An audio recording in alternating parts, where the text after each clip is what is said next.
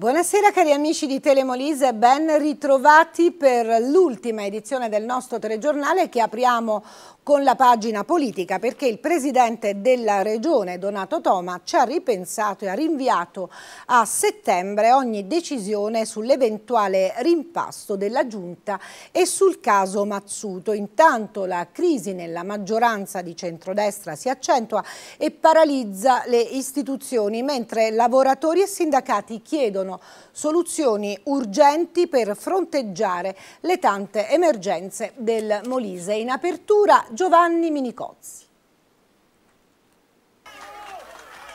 Dopo quanto accaduto venerdì scorso in Consiglio regionale, doveva essere la settimana decisiva per tentare di risolvere la crisi politica che ha investito la maggioranza di centrodestra alla regione, o almeno così era stato annunciato. Invece Donato Toma ci ripensa, prende tempo e rinvia tutto a dopo l'estate. Il governatore lo ha dichiarato in una intervista rilasciata a Primo Piano Molise, nella quale tra l'altro ha messo sotto tiro i consiglieri ribelli del centrodestra con in testa l'ex governatore Michele Iorio. Nel frattempo il presidente gestirà insieme al leader della Lega Matteo Salvini il caso Mazzuto che intanto resta al suo posto di assessore esterno al lavoro e alle politiche sociali. Naturalmente ogni decisione sull'eventuale rimpasto dell'esecutivo o sulla sostituzione di qualche assessore è di competenza esclusiva del Presidente e spetta a lui decidere come e quando farlo.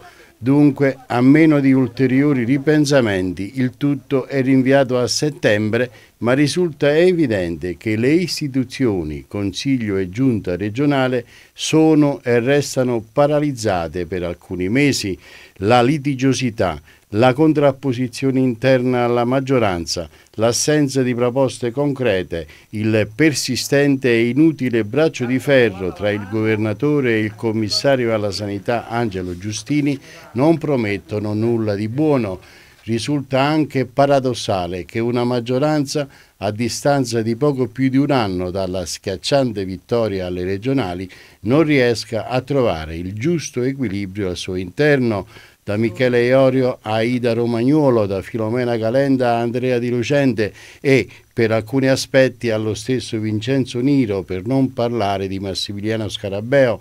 Sono troppi i malpangisti che evidentemente non hanno gradito le scelte del Presidente nel comporre l'esecutivo né i provvedimenti fin qui messi in campo per fronteggiare le tante emergenze che stanno divorando il Molise non a caso, fuori dai palazzi della politica, c'è una regione che soffre le pene dell'inferno tra crisi produttive, disoccupazione, spopolamento, fuga in massa dei giovani senza lavoro, servizi non garantiti a partire dalla sanità, viabilità indecente e indice di povertà mai toccato prima di adesso. Questi drammatici problemi non possono attendere i tempi lunghi della politica né le beghe interne di una maggioranza sempre più sfilacciata, o meglio di una maggioranza traballante con alcuni consiglieri regionali eletti nel centrodestra pronti a cambiare casacca con la speranza di conquistare una poltrona più comoda, una maggioranza che dimostra sempre di più la sua inadeguatezza per affrontare le drammatiche emergenze del Molise. Andiamo a Termoli perché il punto nascita può riaprire, il TAR ha concesso la sospensiva contro il decreto di Giustini in attesa di entrare nel merito nell'udienza prevista il prossimo 24 luglio, una grande vittoria. Il commento di tutti, intanto ieri sera c'era stata una fiaccolata silenziosa davanti all'ospedale tra commozione e speranze. Sentiamo Manuela Iorio. Il TAR Molise ha concesso la sospensiva accogliendo la richiesta cautelare contro il decreto di chiusura del punto nascita del Santimoteo di Termoli. Un risultato straordinario. Questa sospensiva ripristina il diritto alla salute, ha commentato a caldo l'avvocato Massimo Romano che insieme al collega Vincenzo Iacovino ha avuto l'incarico di impugnare il provvedimento del commissario Giustini da parte di 13 comuni e 20 donne in gravidanza. L'annuncio su Facebook lo ha dato il sindaco di Termoli Francesco Roberti che ha dichiarato guardiamo con speranza quando si entrerà nel merito, non possiamo chiudere il punto nascita del nostro ospedale, continuiamo a rimanere uniti e manifestiamo per una giusta causa. Ora ci attesa infatti per l'udienza collegiale del 24 luglio quando i giudici entreranno nel merito e si conoscerà il destino del punto nascita. Intanto da stamattina il telefono del reparto è stato preso d'assalto da donne a cui manca poco per partorire e che vogliono farlo a Termoli. Si riaccendono così le speranze per tante di loro, compresa Romina, una mamma arrivata al termine della sua quarta gravidanza e che ieri, nell'ultimo giorno di apertura del punto nascita, era stata costretta a dimettersi contro la sua volontà.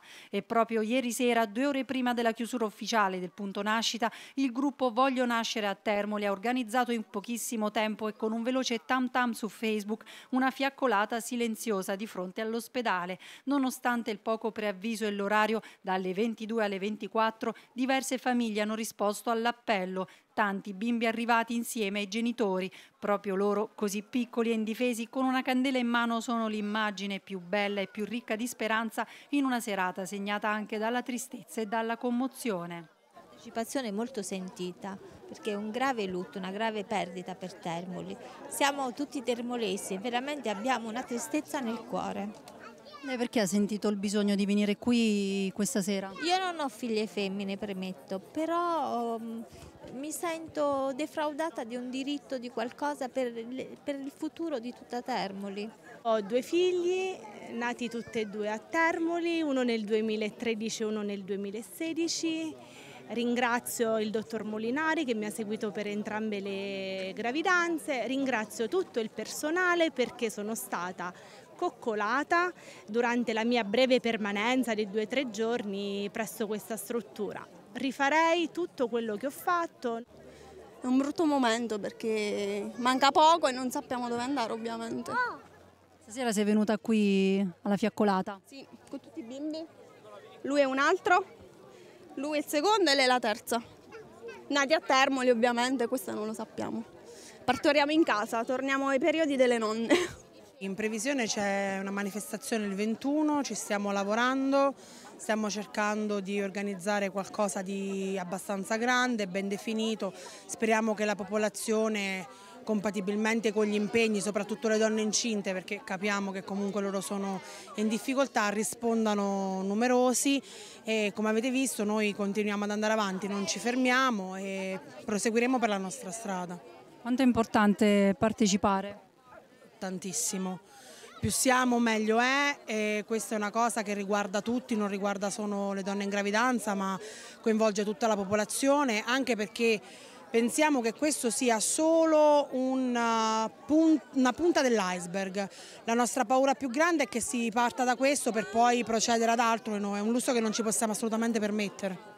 Ora il TAR riaccende le speranze, l'importante è non mollare e crederci fino in fondo.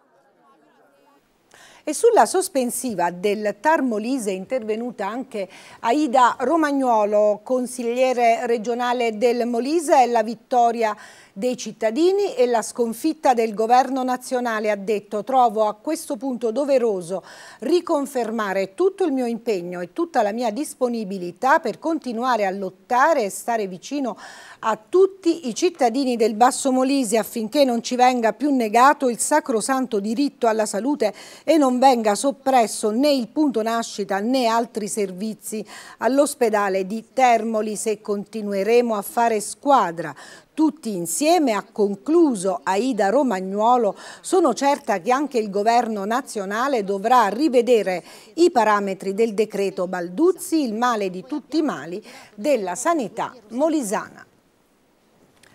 E intanto nel pomeriggio di oggi il punto nascita del San Timoteo è stato riaperto, al pronto soccorso ora si accettano i ricoveri e dunque almeno fino al 24 luglio, giorno in cui il TAR entrerà nel merito, a Termoli nasceranno bambini. Il reparto si sta riorganizzando con i turni ma resta il forte problema del personale. Se l'ASREM non manderà rinforzi le criticità aumenteranno.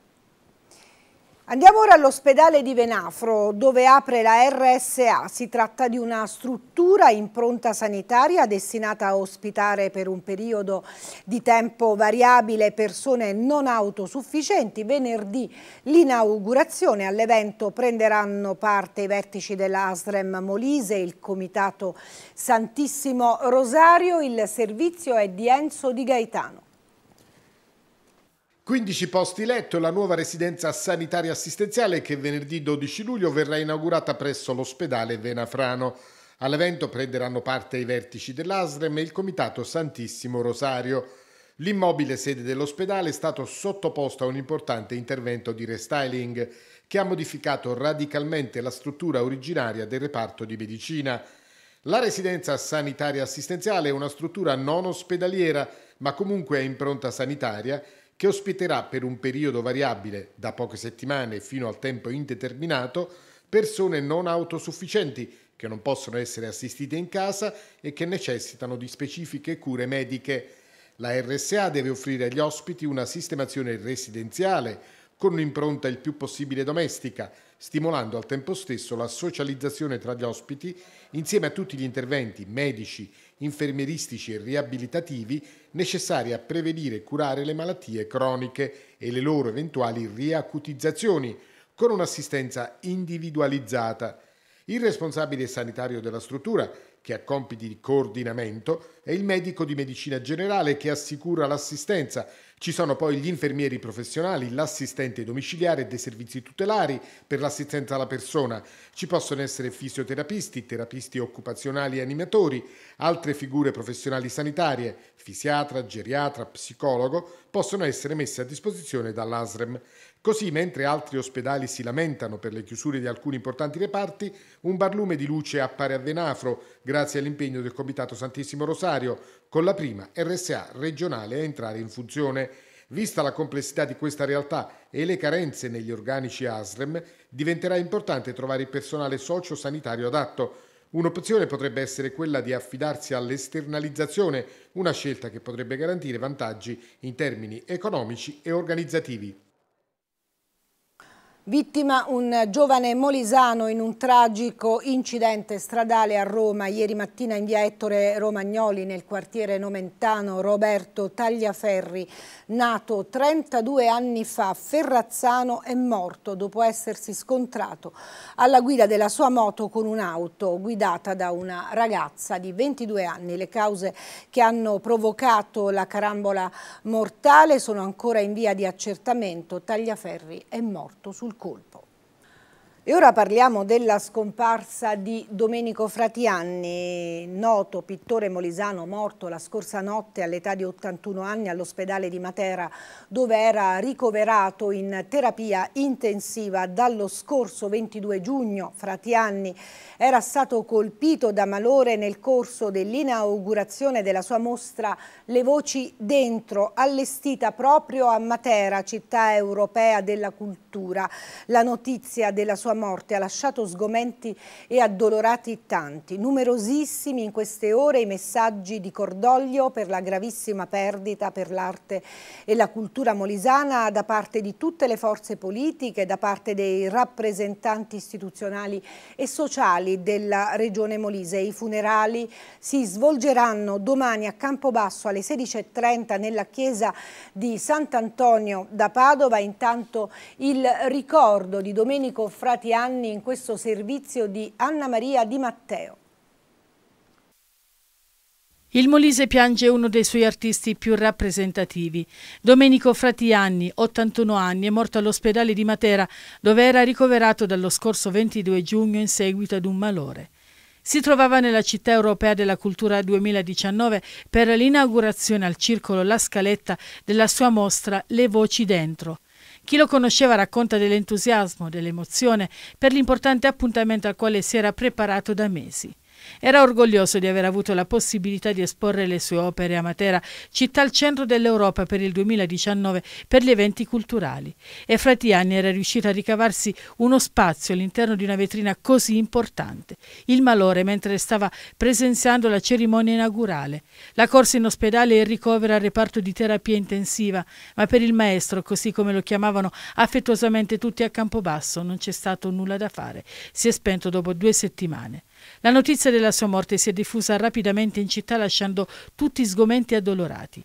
Pittore, incisore, disegnatore, dal 2000 Fratianni era direttore artistico della Biennale dell'Incisione Italiana Contemporanea di Campobasso. Con le sue opere aveva portato il Molise fuori dai confini regionali, era sempre in prima linea quando si trattava di promuovere l'arte sotto tutte le sue sfaccettature. Persona raffinata, sempre affabile alla mano, la si vedeva spesso passeggiare lungo il corso con gli amici di sempre e per tutti c'era un sorriso, una stretta di mano, un galantuomo come lo hanno definito in tanti. La sua scomparsa lascia un vuoto in città e nel mondo dell'arte e della cultura molisana e oggi sono in tanti a piangerlo.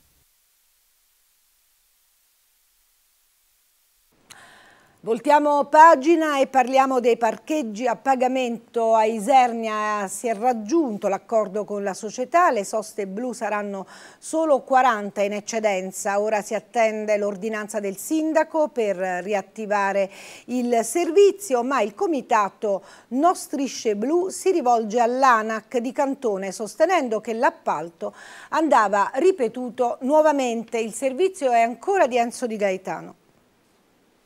Alla fine ha prevalso l'ipotesi del 5%, il comune di Isernia ha così concluso il processo di transazione con la società esterna che dovrà occuparsi di gestire parcheggi a pagamento. Saranno 867 in totale le soste blu, 40 in più delle 827 stabilite in principio dal Consiglio Comunale. Una mediazione necessaria all'indomani della differenza emersa tra quanto deciso dal Consiglio e il bando di gara sbagliato che prevedeva circa 150 parcheggi a pagamento in più.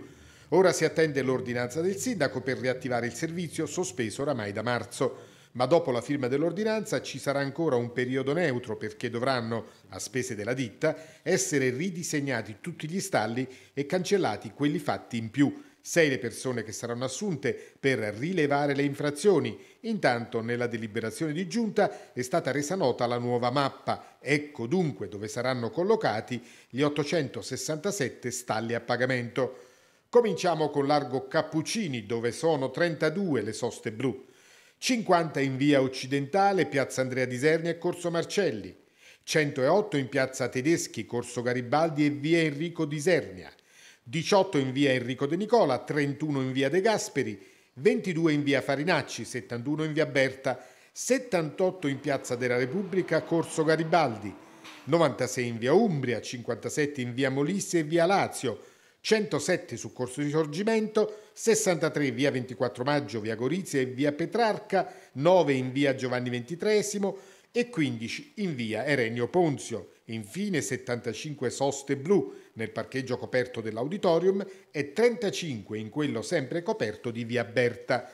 Inoltre la società si è impegnata a istituire un ticket di cortesia di 10 minuti che consente per una sola volta al giorno di fruire della sosta negli stalli a pagamento senza costi a carico dell'utente. Della questione strisce blu si tornerà a parlare nel prossimo Consiglio Comunale previsto per giovedì prossimo. Intanto il Comitato Cittadino No Strisce Blu ha preannunciato attraverso il suo legale Oreste Scurti il ricorso alla Corte dei Conti, alla Procura e all'Autorità Nazionale Anticorruzione di Raffaele Cantone perché l'appalto avrebbe dovuto essere rifatto da capo dopo l'emersione delle irregolarità. Per il Comitato non si può aggiustare in corsa un avviso pubblico da milioni di euro. In Italia ci sono 12.000 aree potenzialmente contaminate, di queste 61 sono in Molise. A lanciare l'allarme il consigliere regionale del Movimento 5 Stelle Vittorio Nola che insieme ai colleghi del Movimento ha presentato una nuova interrogazione al Presidente della Regione e all'assessore competente per conoscere quale sia la reale funzione. Sentiamo ancora Anna Maria Di Matteo. C'è anche il Molise nella mappa delle regioni italiane in cui esistono aree a rischio sanitario con siti potenzialmente contaminati. Secondo il censimento eseguito dall'ISPRA, l'Istituto Superiore per la Protezione e la Ricerca Ambientale, in Italia le aree sono oltre 12.000, ben 61 si trovano nel Molise. A ricordarlo il consigliere regionale del Movimento 5 Stelle Vittorio Nola, che ha anche sottolineato come per 32 siti contaminati il procedimento di bonifica sia stato chiuso e per 29 invece il procedimento risulta ancora aperto al 3 dicembre 2015. 2015. A quell'anno risalgono gli ultimi dati utili sui siti contaminati del Molise, come riportano gli allegati al piano regionale per la gestione dei rifiuti scaduto ormai da mesi, ha ricordato il consigliere, che ha stilato l'elenco delle aree maggiormente a rischio, la piana di Venafro, la discarica di Tufo Colonoco, Colle d'Anchise, Montagano, l'area di Capoiaccio in territorio di Cerce Maggiore, la zona che insiste sul sito di interesse regionale di Guglionesi e quella ridosso del depuratore di Termoli. Ma la questione ambientale in Molise abbraccia diversi aspetti, ha spiegato Nola. Il piano regionale per la gestione dei rifiuti approvato dal Consiglio regionale nel 2016 è scaduto da quattro anni e non risulta tracce di alcuna revisione da parte delle strutture competenti, così come manca una mappatura aggiornata sui siti contaminati, ha ricordato il consigliere, secondo il quale è indispensabile che la Regione si doti di un piano per la gestione delle discariche. Su questi temi il gruppo in Consiglio regionale ha presentato una nuova interrogazione al Presidente della Regione Toma e all'assessore all'ambiente Cavaliere per conoscere i siti ad oggi contaminati e gli interventi adottati per bonificare le aree. Con l'interrogazione 5 Stelle chiedono anche di sapere se l'assessorato stia lavorando alla revisione del piano regionale di gestione dei rifiuti ormai scaduto e quando arriverà l'attenzione del Consiglio. La Regione non può permettersi ritardi e silenzi perché un'amministrazione che tentenna sui temi della salute pubblica e sulla sicurezza ambientale non rispetta i diritti dei propri cittadini, ha concluso Nola. A dieci anni dalla morte in Afghanistan del paramolisano Alessandro Di Lisio, il 13 luglio si svolgerà la cerimonia di intitolazione del giardino in via Ugo Petrella, dove sarà anche scoperto il monumento eretto in Afghanistan dai suoi commilitoni e riportato in Italia al rientro della missione. Alla cerimonia prevista per le 10 parteciperà anche il ministro della difesa Elisabetta 30. Cambiamo argomento, i carabinieri di Montenero di Bisaccia e Petacciato hanno sventato un furto a Montenero, la pattuglia ha notato la presenza di un trattore di grandi dimensioni con agganciato un carrello e su questo carrello un trattore a cingoli in uno spiazzo isolato nelle campagne di Montenero. Il controllo ha consentito di risalire al proprietario del mezzo, titolare di un'azienda agricola a Petacciato, che ha riconosciuto il proprio mezzo una volta giunto sul posto. Il valore commerciale di quanto sottratto all'uomo ammontava a circa 200.000 euro. Tutti i beni sottratti sono stati restituiti al titolare dell'azienda. Presto la protezione civile sarà insegnata anche a scuola. Si è parlato di questa novità durante il campo scuola organizzato ad Agnone dai volontari dell'Associazione Nazionale Carabinieri e c'era per noi Sergio Di Vincenzo.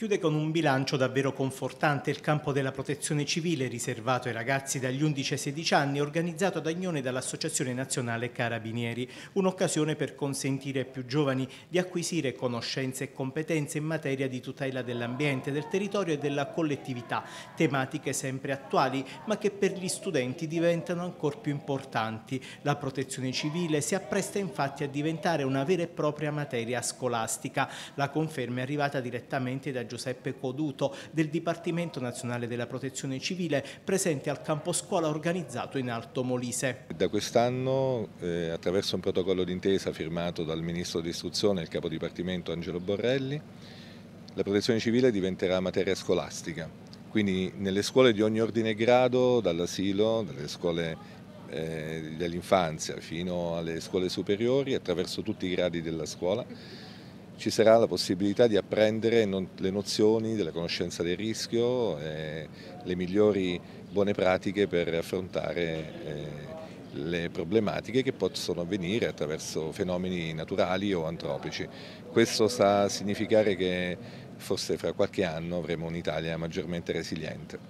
Questo campo scuola è stato caratterizzato anche da un bel esempio di integrazione. Grazie a un'intesa con il Rotary Club hanno vissuto questa esperienza anche due ragazzi iraniani. I loro genitori sono arrivati ad Agnone grazie al progetto SPRAR. Con questa iniziativa l'Associazione Nazionale Carabinieri Protezione Civile di Agnone si appresta a festeggiare nel migliore dei modi i suoi primi vent'anni di attività in Alto Molise e nel resto d'Italia, dove ha operato attivamente durante numerose emergenze, ha ricordato il direttore del campo Pasquale Pasqualino De Mattia. Ad agosto celebreremo i nostri 20 anni di attività. È un grandissimo successo fatto di tanti sacrifici e di tanto impegno di tutti e accogliamo anche l'occasione per invitare tutti a festeggiare con noi. È un modo nostro per ringraziare tutti quelli che ci sono stati vicino e, e anche ringraziare tutti quelli che nel tempo hanno fatto parte di questo nucleo. Siamo stati presenti attori anche in modo importante in quasi tutte le calamità che ci sono state negli ultimi anni. La cosa che ci piace ricordare di più è San Giuliano, per la nostra vicinanza anche diciamo, geografica a questo posto e anche per il tipo di, di dramma che abbiamo vissuto tutti quanti. Il 27 luglio prossimo a Campobasso è previsto il Molise Pride. Intanto dall'Arcigay Molise arriva l'appello alla Regione e al Parlamento affinché approvino al più presto una legge contro l'omotransfobia. Facciamo appello alle forze politiche della Regione, hanno detto gli organizzatori, affinché mettano in agenda la proposta di una legge che offra servizi e aiuti stabili e concreti nel tempo. Monitoreremo, hanno concluso, l'attuazione del programma della piattaforma Molise Pride sottoscritta dal sindaco di Campobasso Roberto Gravina che attendiamo alla manifestazione. Seconda serata ieri sul tratturo del Festival del Jazz a Campo di Pietra e a San Giovanni in Galdo con il concerto unica data in Italia del Ghost Note, grande successo di pubblico, appuntamento a venerdì con Carolina Bubbico, il servizio è di Giovanni Di Tota. Una band da paura con campo di pietra unica data in Italia in mezzo a Parigi, Sofia, Londra, New York in un tour mondiale, ovunque esaurito. I Ghost Note hanno rasato l'erba del tratturo dei re con le loro sonorità ricche di contaminazioni e originalissime. Del resto tutti i componenti del gruppo statunitense vantano collaborazioni con musicisti leggendari come Prince e Herbie Hancock, il cui stile trapela nelle sonorità jazz riconducibili alla musica afro rivista in chiave psichedelica. Ci mettono del loro Mike Yelani Brooks che alterna sax tenore e flauto dai quali tira fuori note che hanno il sapore della protesta e della novità alternandoli al sound tipico del bebop e il percussionista Nat Wert, vero leader dei Ghost Note con i suoi due Grammy Awards a tracciare la linea ritmica di quello che accade sul palco dialogando con Robert Spat Seawright, batterista di Herbie Hancock.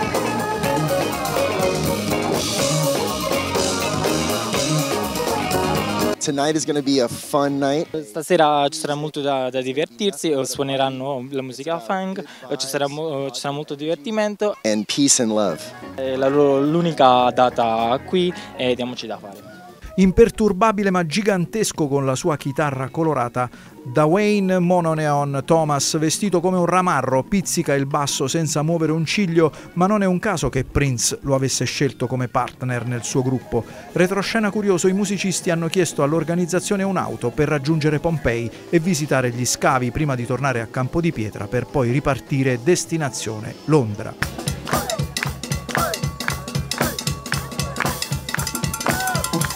Abbiamo cercato sempre di coniugare le mh, essenze musicali alle essenze del territorio, per cui abbiamo fatto anche sempre dell'enogastronomia locale uno dei nostri punti forti.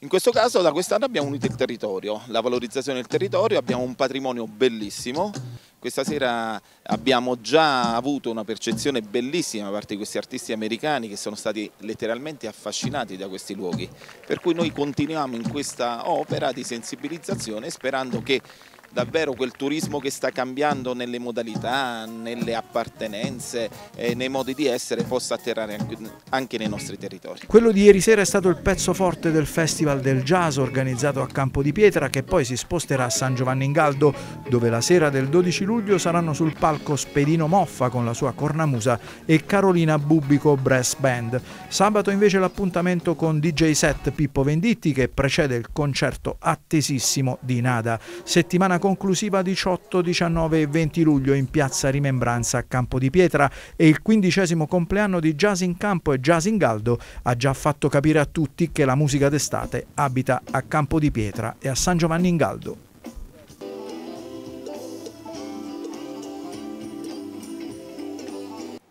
E a Campo di Pietra si è appena conclusa la nona edizione di Riviviamo il Tratturo, due giorni dedicati al territorio e alle sue risorse. C'era per noi Valeria Farina.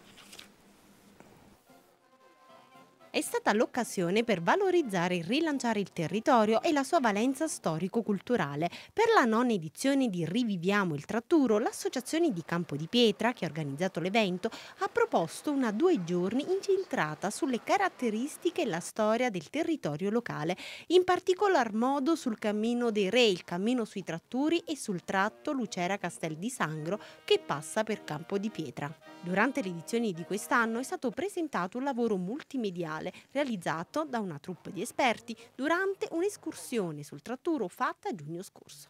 Abbiamo voluto eh, valorizzare il tratturo Lucera Castel di Sangro con eh, l'ideazione di una guida multimediale eh, e cartacea su uno dei eh, tratturi più belli del Molise, appunto il Lucera Castel di Sangro. Abbiamo ehm, ideato eh, due squadre, una di camminatori e una tecnico, chiamiamola tecnico giornalistica. Questo materiale è stato eh, già raggruppato e eh, ieri sera si è presentato un trailer su questo eh, primo viaggio Durante la giornata conclusiva della nona edizione non sono mancati momenti di fede dedicati alla Madonna del Tratturo con la messa e la processione e i sapori tipici locali. Caratteristica è stata nel pomeriggio la spiegazione che l'architetto Franco Valenti ha tenuto al tempietto italico di San Giovanni in Galdo. Qui a Colle Rimontato a San Giovanni in Galdo abbiamo l'opportunità di capire quanto sia stata importante l'architettura soprattutto e la religiosità dei Sanniti nella costituzione di una, di una struttura che poi ancora oggi sopravvive.